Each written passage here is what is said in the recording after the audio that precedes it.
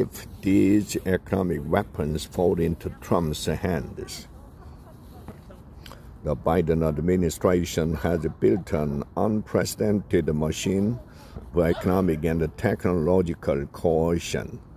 When Russia invaded Ukraine, the United States and its allies cut off Russia's access to its own central bank reserves held outside Russia.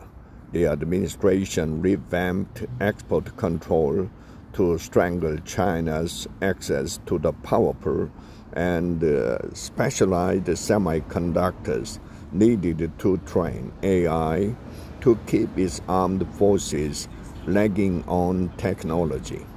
These economic weapons are far from perfect. As critics have noted, Russia is finding money in other places. China is already working around the earlier export control, although it won't be able to produce its own cutting edge semiconductor anytime soon.